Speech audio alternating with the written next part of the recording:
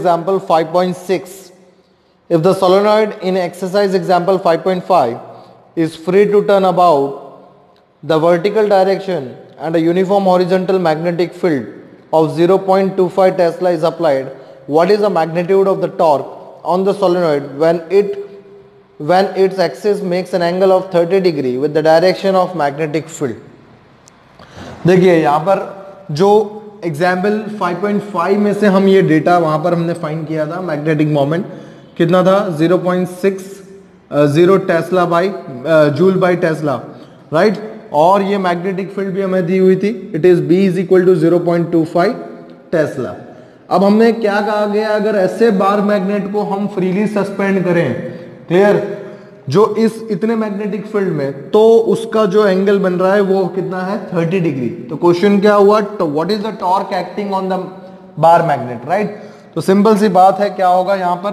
That is torque acting on bar magnet is it is tau is equal to M cross B right सीधी सी बात है formula हमारे पास. So it is M B sine theta value यहाँ पे रख दीजिए। देखिए एम आपके पास कितना है? 0.60 point six zero into B जो है 0.25 point two five. And sine theta मतलब साइन 30 क्लियर इसे आप कैलकुलेट कीजिए। क्या मिलेगा आपको आंसर देखिए it is 7.5 point five into ten to minus two joule right ये हमारे पास निकल आया। क्लियर चलिए। Thank you